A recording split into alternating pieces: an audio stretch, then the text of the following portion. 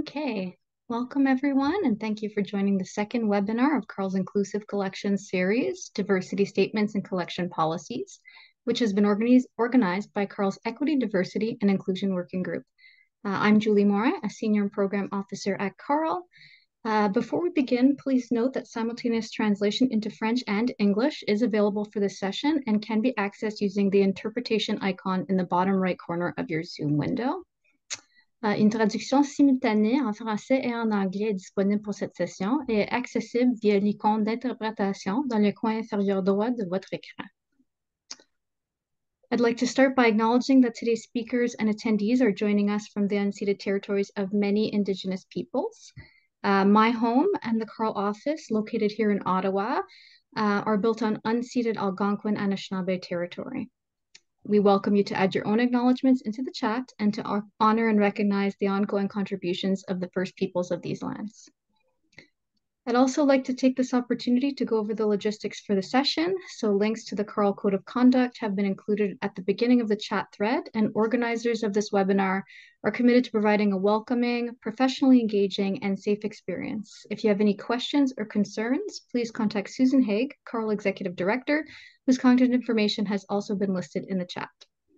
Uh, our speakers will be taking questions at the end. You may ask questions in French or English, either by entering them into the chat or by raising your hand when prompted.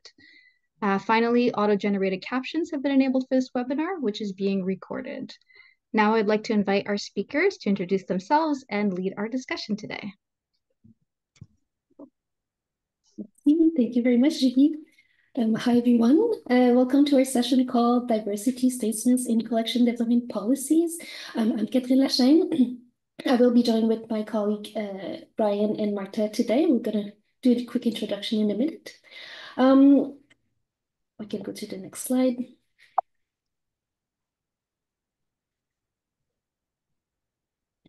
Um, I know that Julie just uh, did her own acknowledgement, but we would like to add our, our, our own. So we would like to acknowledge that the land on which this research was done is the traditional unceded territory of the Algonquin, Anishinaabe, and Anishinaabe peoples. We embrace that these lands are now home to many diverse First Nations, Inuit, and Métis peoples, and hope that the work we do helps libraries take steps towards reconciliation and honors the land and its Indigenous heritage. Um, so quickly, the team, so Marta um, from the uh, St. Paul uh, University, so she's collection development and liaison librarian. She's also the, the lead uh, of this project. Um, I'm Catherine, I'm o the open education librarian uh, in an interim position right now at the University of Ottawa Library. And we're joined with Ryan Rivando, who's uh, newly the sales representative uh, sales manager Canada at Paradigm Publishing Services. Um, this project is supported by St. Paul University internal research funding. Um, and one thing that we also wanted to add, um, you can see we're all white people. Um, so we, um, um, we want to mention that we are not you know, um, the kind of representatives or leaders of this conversation. Um, so we want to acknowledge the privilege uh, we have to to undertake this research as white settlers, cisgender and able individuals. Uh, so we recognize that this is a sensible topic um, and again that we're not the representatives or leaders of this discussion. So we welcome any comments, concern, questions from uh, today's participant, but it was important to acknowledge that.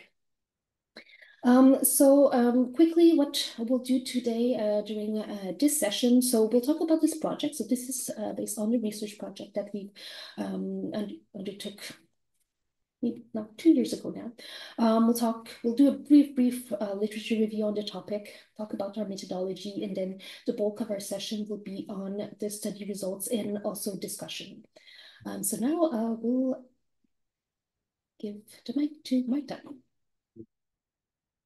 So we will ask you to work a little bit with us. So we'll have several interactions during the session. So this is our first one. This is, is using Slido. So you can join it um, either through slido.com and enter the number you see on the screen, or you can scan the QR code that you see and vote this way. So the first question is, are you involved in collection development decisions at your institutions? So we'll give you a few seconds uh, to vote, and we'll have several of the Slido uh, interactions throughout the session.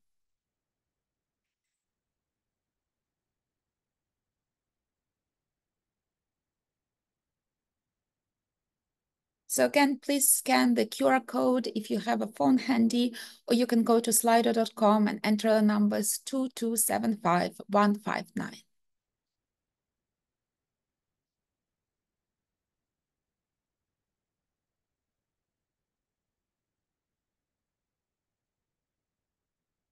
Okay, we have about 20 people who have voted already. We'll give it a little bit, few more minutes.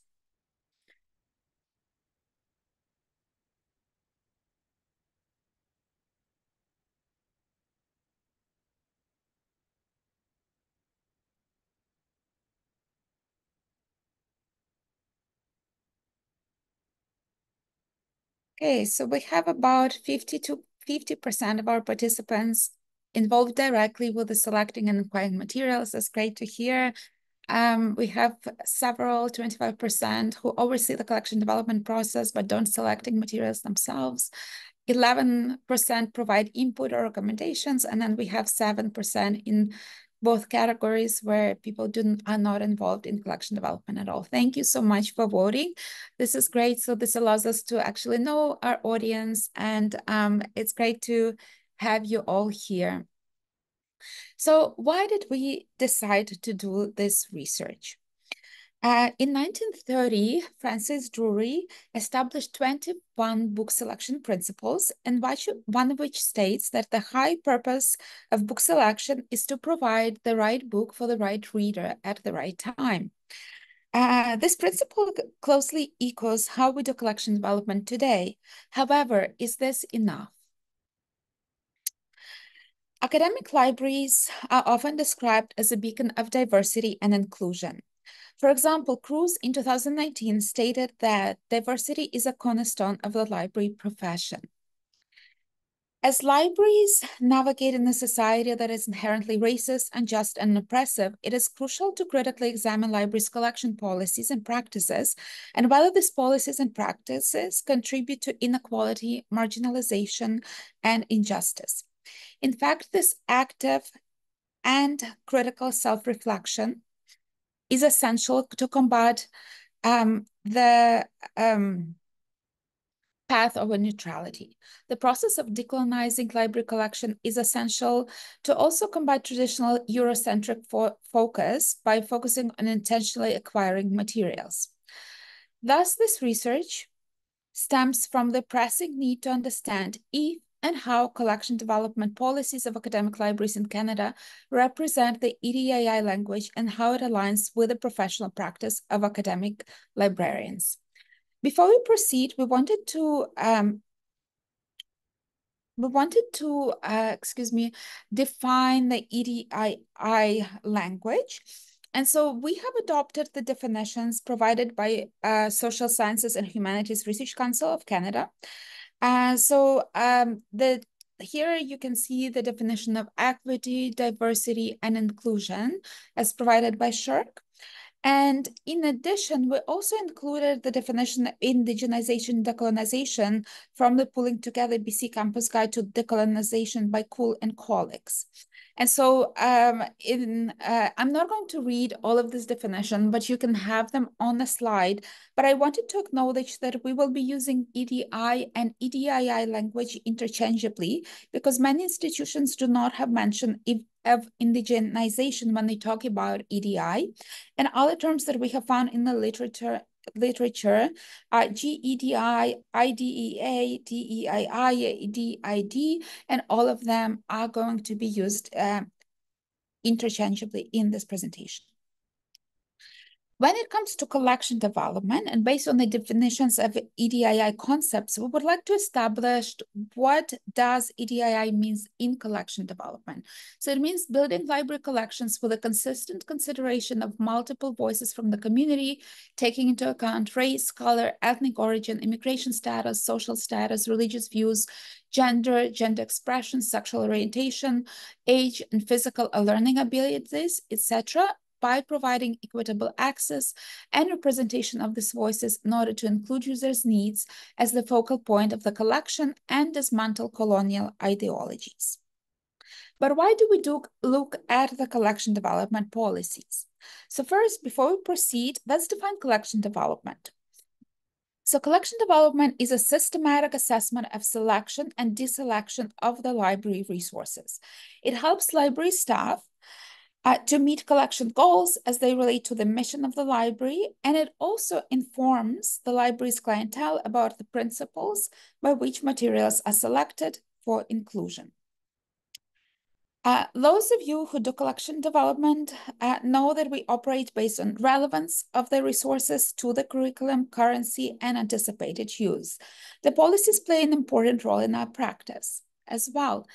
Um, so according to CARMARC 2021, policies establish priorities and command practice. So it is imperative that libraries take on collection development of uh, take on the development of diversity, equity, and inclusion in their collection development policies.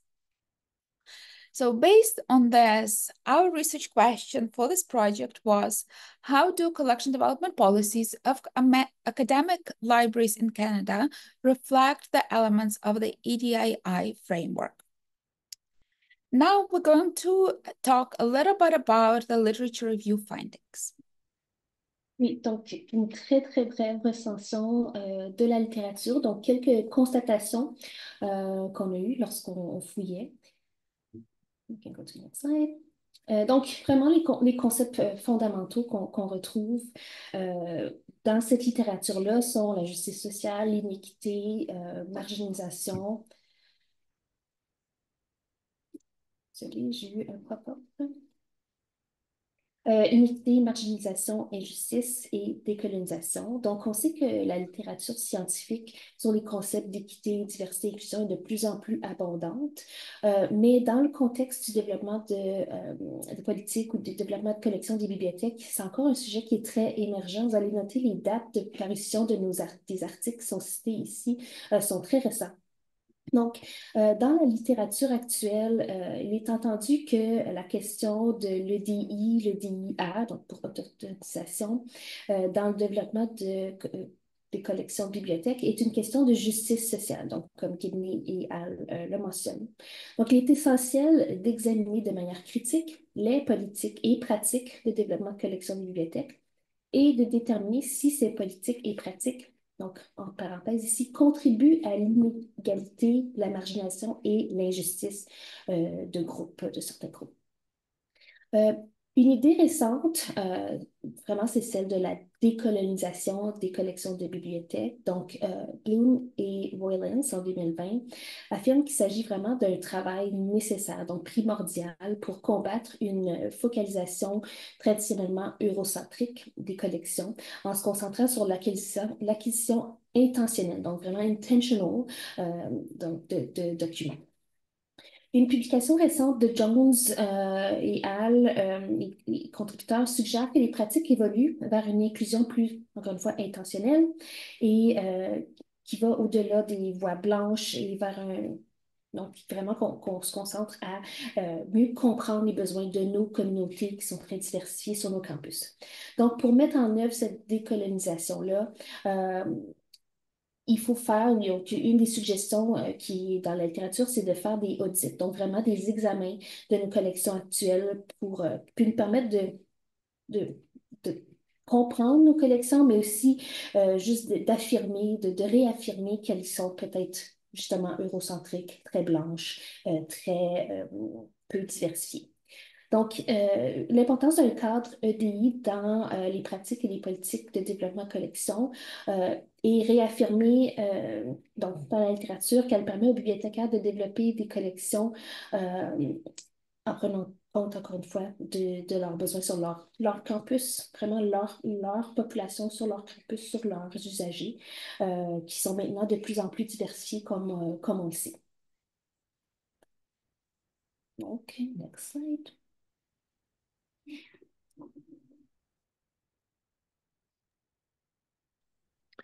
Okay, so I'm going to uh, just quickly give an overview of uh, our project stage, stages and the methods that we use to analyze the, the data that we collected.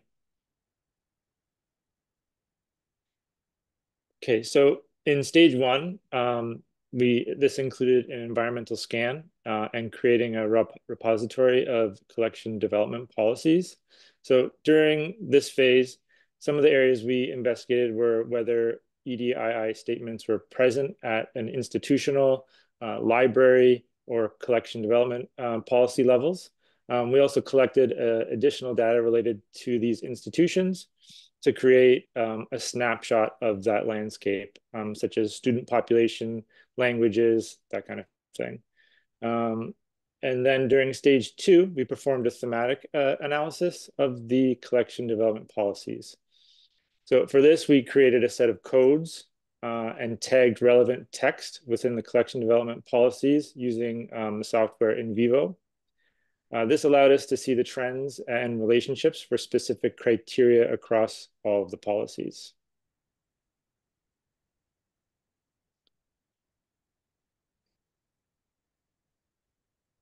So now I'm just going to go over the study results in this section. Next slide. Uh, so yeah, first we'll do a quick overview of the environmental scan. Um, so in addition to gathering uh, the collection development policies, we harvested data about each Canadian university library and their institution. The goal here was to develop a data set that could help us answer questions regarding, um, as I mentioned, student population, location, languages of instruction, and uh, a long list of other things. Uh, when examining the data from the environmental scan, we found significant commitment to EDI principles, um, but the main focus from the textual analysis will examine whether collection development policies are keeping pace. So next, I'm going to take a minute to give a couple of examples of what we took away from this data. Uh, the aim is to illustrate the type of relationships that we hope to identify um, and ways we tried to inform the textual analysis. So is there a commitment to EDII principles at Canadian universities? Uh, the short answer is yes. Uh, at the time of the scan, we found that 76% of Canadian universities have published a statement on their website that explicitly supports EDI principles at their institutions. Um, the next image.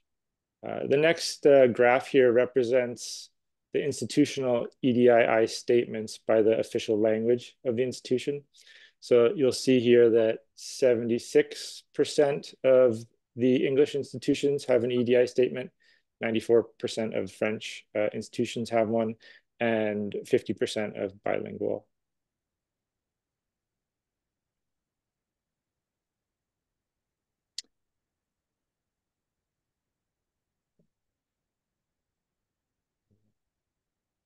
Okay, so how often did the university uh, EDI statements mention libraries?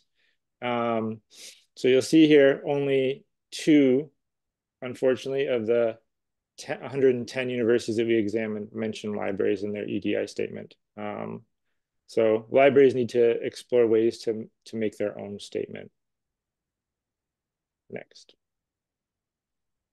Uh, so I just want to give you those two mentions quickly. Um, so the first one, I'm not going to read them because uh, they're right there on the screen for you. But um, what we can see is that they, in one, that they mentioned uh, decolonizing the collection uh, and taking, and then also taking action uh, on the addition of indigenized subject headings. The second one from uh, University of PEI um, they call for an increase of resources related to groups who are historically under, underrepresented in library collections. Uh, next slide. So do libraries make commitments to EDII principles? Um, some do, but not many. Uh, we found that 15 out of 110 university libraries in Canada have an EDI statement uh, on their website. This was at the time of the study. So when uh, cross-referencing our data, we also found an interesting correlation between EDI statements uh, on university websites and EDI uh, library statements. So from 84 universities that included an EDI I statement, 17% uh, also included an EDI statement from the library. Um, and from 26 institutions who do not have uh, an EDI university level statement, for only 4% of those libraries uh, had an EDI statement. So this indicates that organizational culture could possibly play a role in um, fostering the commitment to EDI principles uh, across the different parts of institutions. So um, EDI is a term that we came across in our research, though we did not find specific mention uh, of this complete term in any uh, of the collection development policies that we looked at. Uh, we think that, especially within Canada, it would be even more impactful commitment to include uh, indigenization as part of EDI uh, statements in collection development policies. So 45% of university EDI statements that mention indigenization and 60% of library EDI statements mention uh, indigenous issues. So this points to an awareness of the need for steps towards uh, reconciliation in universities and academic libraries. And we think it would be impactful to extend this language into um, collection development policies. I think this is your slide, Marta. Thank you so much, Ryan. So to put things in a perspective, let's look at the bigger picture here. So while 79% of the higher education institutions in Canada have EDI statement on their website, 13% of institutional library statements on, uh, sorry, have separate EDI state, uh, EDI commitment on their website. So you can see that from all the university statements in 76%, only 13% of the library statements were available. When it comes to collection and development policies, we have found only two policies, so 1.8%, that contain explicit EDI statement, but we have also found that 20% of the institutions contain references to diversity, so diversity of users and collections, equity, specifically equal access, and inclusive spaces. We also wanted to see whether the, uh, sorry, apologies. We also found a correlation between EDII language and how recently the policies were updated. As you can see from this graph, language on diversity and equity starts to become more prevalent in the collection development policy starting in around 2015. Similarly, the concept of indigenization, decolonization, does not appear in policies prior to 2015. So we can see the correlation between the um, time the policy was last updated and the concept that we have discovered within the policies based on the, our textual analysis. Here we have another interaction. So we would like to ask you, what key concepts or principles do you believe should guide the integration of EDII in the collection development policies? So this is a word cloud. So if you can respond with one word or maybe, you know, a small phrase, um, that would be helpful. So we'll give uh, maybe two, three minutes for this interaction.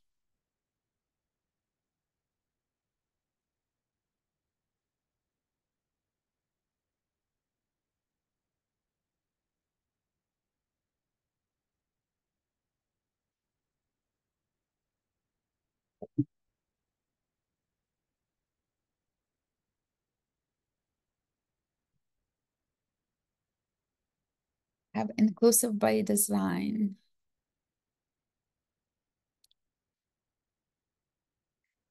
Excellent. We have several communities, so communities consultation, communities, collaboration, accessibility, intentional commitment to listening to communities. Very good.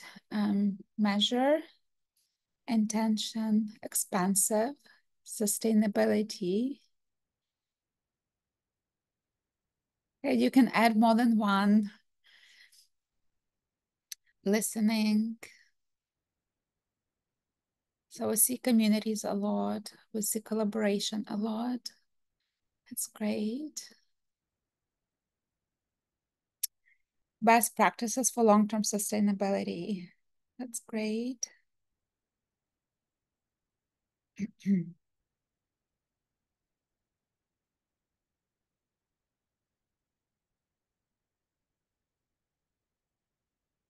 Keep them coming.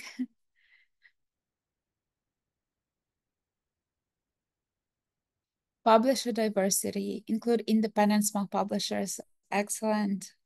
That, that's great.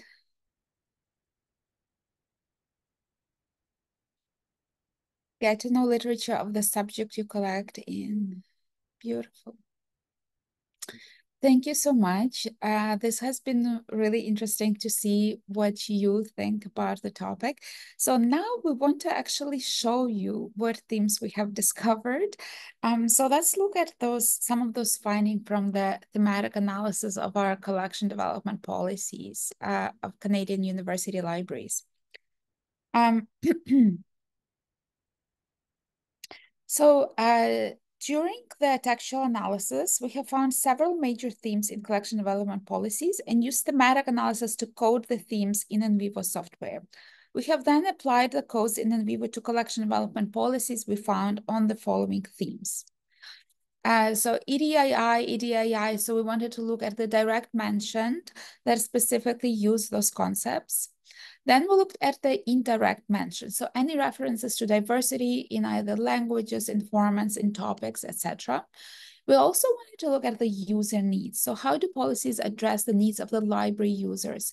Um, faculty community recommendations were included in that as well. Academic freedom, which is really interesting. I don't think it was mentioned.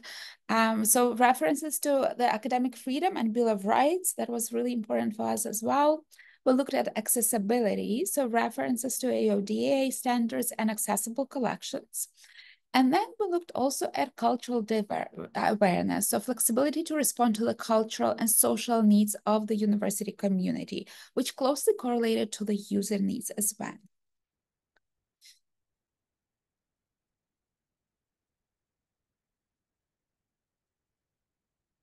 Ryan, up to you.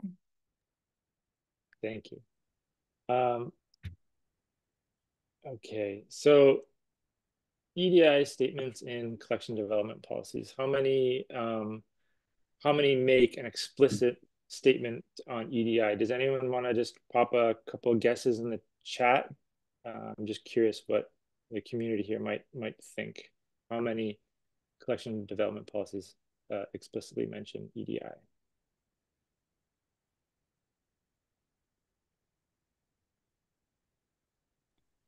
And I've put a note earlier, but the scan was done during the fall of 2022. Um, so the data that we're presenting now, we know that it's already a little bit outdated, but not much, but again, it's 2022, so. Yeah, so a very, a very few, three, five. Um, Marta, do you want to show them how, how many it was? Absolutely, yes. Two, so yeah, very few or less is is correct. So, un yeah, unfortunately, we only found two. Um, so those two examples are here. Um, you can see that Brandon Brandon University actively seeks to include uh, equitable, diverse, uh, accessible, and inclusive content, uh, while Western uh, Libraries is committed to the principles of equity, diversity, and inclusion. And these were the two most um, explicit uh, commitments that we found. Uh, in these statements, we see uh, language that clearly shows that these libraries have identified the need to make commitments to EDI, um, whether that be related to material selection, community involvement, uh, or the values of the organization. Uh, we'll see that in the textual analysis that the language within the collection development policies um, that although the individual terms of EDI are used, uh, the context isn't is not the same. Next slide.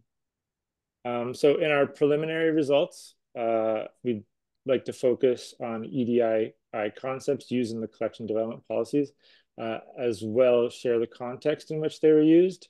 Um, thus, the direct mentions within the collection development policies for equity, uh, were 14%. That includes things like equitable access for diversity uh, in reference to students or content. That was 18%. Uh, inclusion, uh, in, you know, specifically inclusive spaces, that kind of thing was uh, mentioned in only 2% of collection development policies.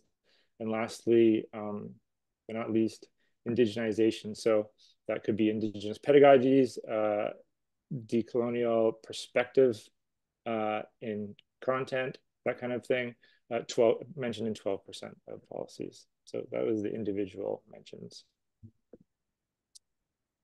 So here are some examples of how diversity is being incorporated into some of uh, the collection development policies that we uh, analyzed. So to promote the growth of diverse quality content in library collections uh, by collecting materials from uh, decolonial perspectives and diverse voices. Um, and a second example here is the library's mission is to provide easy access to a diverse and dynamic scholarly collection of material in support of the research, teaching, and learning at the university. Um, so it mentions that use diversity describe to describe um, voices and decolonial perspectives are, are great examples of EDI principles, but the majority of mentions uh, which reference diverse collections uh, or diverse formats, those don't really work to inform EDI practice. So uh, very few university library collection uh, development policies mention equity. Um, and when they do, it focuses on equitable access. So here's a couple of examples.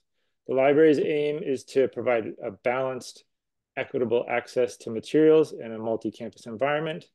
And a second example is the library is committed to providing equitable, barrier-free access to our collection um, in accordance with the uh, Accessibility for Ontarians with Disabilities Act. So Additionally, 45% of collection development policies from Ontario academic libraries reference the AODA.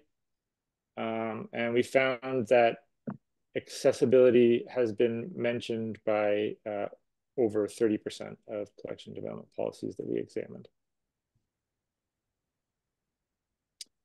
So next, uh, the term uh, inclusion has been directly mentioned only five times, um, and it mostly refers to inclusive spaces. So there, here's a couple of examples of that. Uh, library users will have access to library collections with no discrimination based on racialized identity, uh, gender identity or expression, cultural or ethnic background, ability, family status, age, and political or religious beliefs and views. Um, in cases such as this, we applied inclusion directly because the term inclusion was not often used, but uh, was referenced in other ways like we see in this example.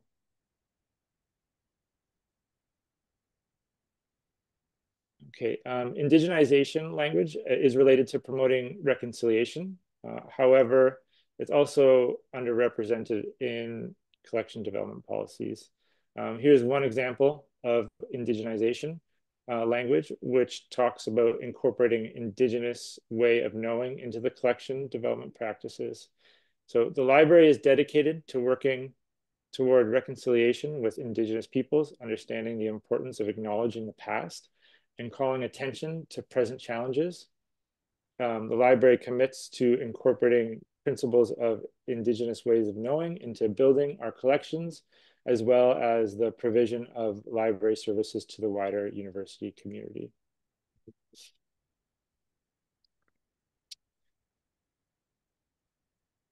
So now let's discuss a little bit other related to the themes of EDI language in collection development policies. Oops, sorry.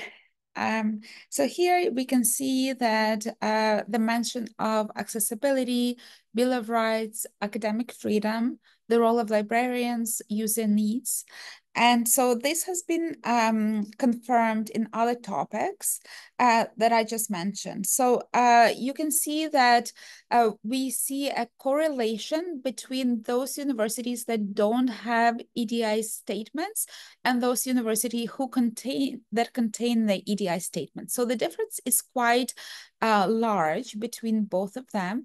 And so this further confirms that there might be a possible correlation between organizational culture and EDI language across different institutional units.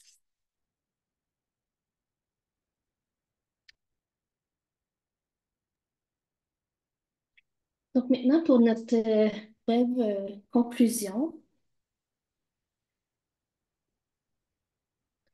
Euh, donc, en ce moment, avec les résultats de notre, euh, notre scan euh, et puis notre analyse thématique, donc on voit que les politiques de développement des collections dans les universités canadiennes contiennent actuellement un langage très limité autour de l'équité, la diversité, l'inclusion et l'autochtonisation, particulièrement lorsque d'une affirmation très claire euh, à ce sujet-là.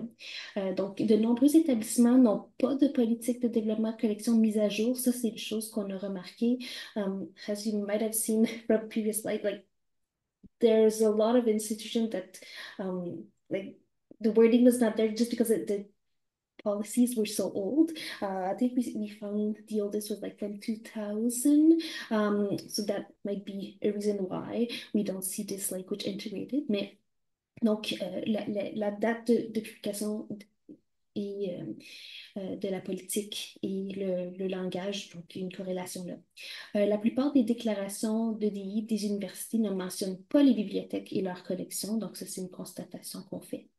Euh, les politiques institutionnelle pour euh, le DI. Donc, il y a plus de politiques institutionnelles que euh, de déclarations EDI dans les politiques de développement de collection. Donc, on voit que c'est plus au niveau institutionnel, mais que les bibliothèques ou les politiques de collection n'ont pas euh, leur propre déclaration.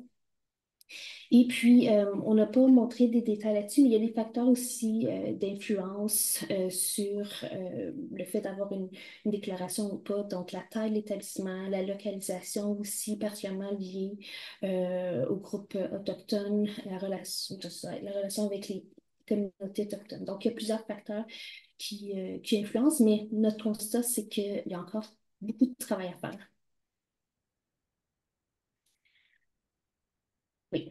Donc, on voulait terminer avec un exemple récent. Donc, comme j'ai mentionné tantôt, le scan a été fait à l'automne 2022. Depuis, euh, ben, mon université d'attache a euh, renouvelé sa politique de développement de collection, donc euh, en janvier 2024. Et puis, il y a, une, des lignes directrices très claires sur, sur en fait, leur engagement face à l'équité, la diversité et l'inclusion. And I know that my colleagues are on this call, so feel free to, to add about the process. We'll have a moment for discussion, uh, but I wanted to present that as a new um, example. Um, donc, dans la politique, euh, il est mentionné que les membres de l'équipe donc, vont s'efforcer de développer une collection inclusive et d'adopter une approche flexible dans l'application des critères de sélection.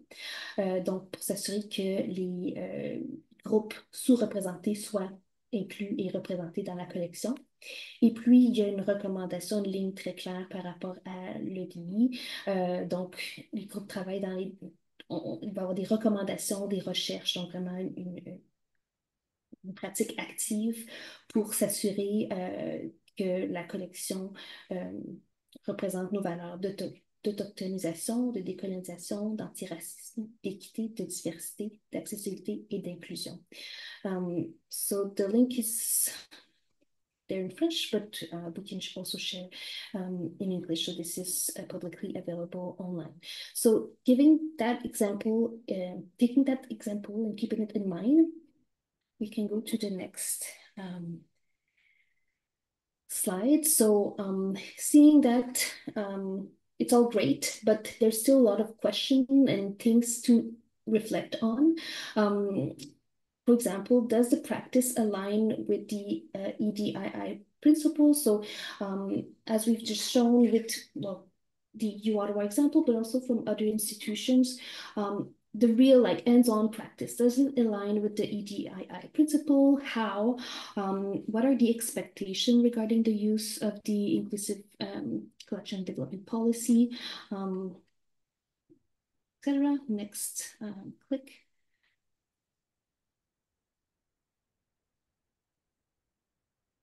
Um, also, how do library users feel about their collection? How do you integrate the user's voice into the collection development uh, process? And we saw uh, some of you mentioned that uh, in the um, the slide earlier, um, the community is really important, but how do we integrate their voices?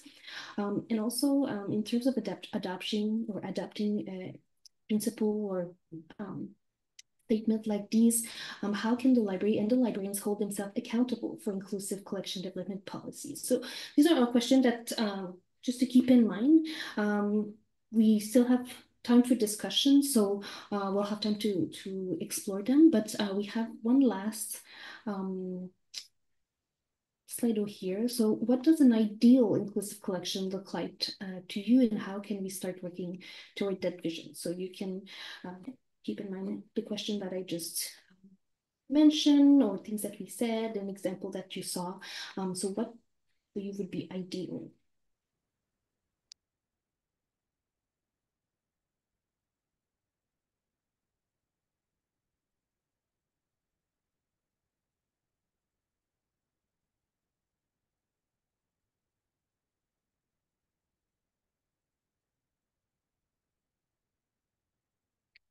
Also, feel free to unmute yourself if you would like to share.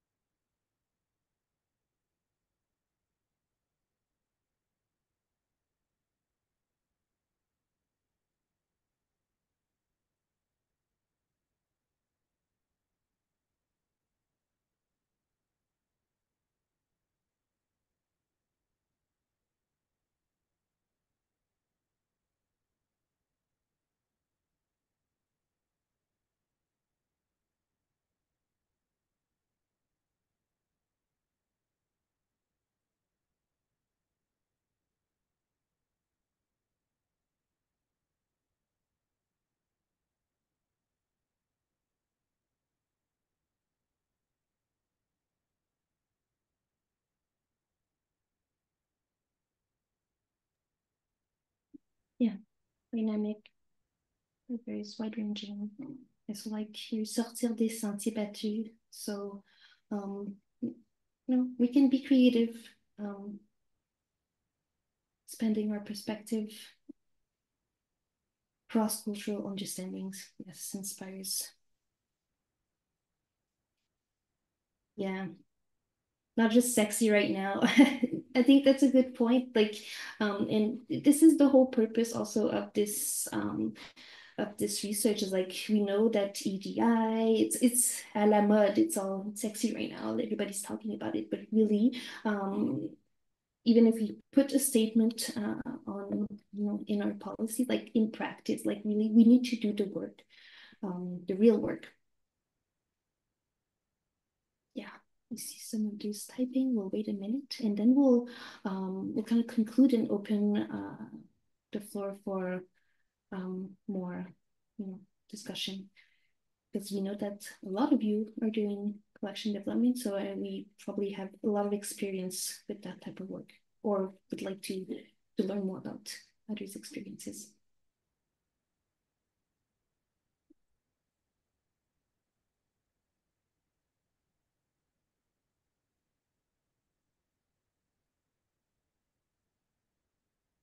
yeah, bake into our daily work. It's an ongoing daily work, something that we need to keep in mind on a daily basis. Who benefits when we invest in culture, right? We know it costs a lot of money, so um, yeah, not just content. This is all great. Thank you for sharing.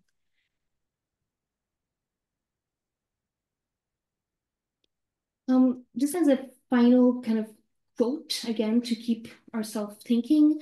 Um, this is from a recent publication that I think might be of interest for a lot of you. It's uh, from um, Jamison, uh, Decentering Whiteness in Libraries, a framework for inclusive collection management practices. So um, again, this is this has a lot of good insight, but also examples and how-to principles uh, for collection development. But um, she said collection development policies create institutional memory. So when policies are written, they should represent the collective consciousness of an organization.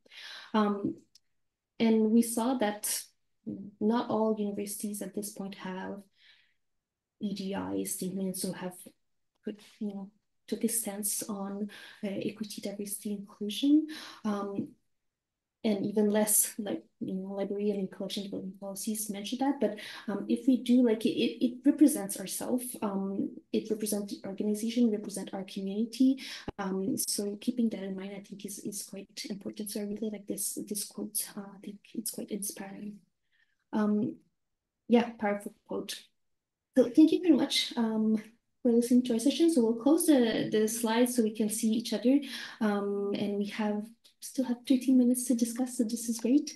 Um, so we'll invite you and we can come back to the question that we presented earlier, or if you want to share any thoughts uh, or question about this, uh, this work, we'd be happy to, uh, to discuss.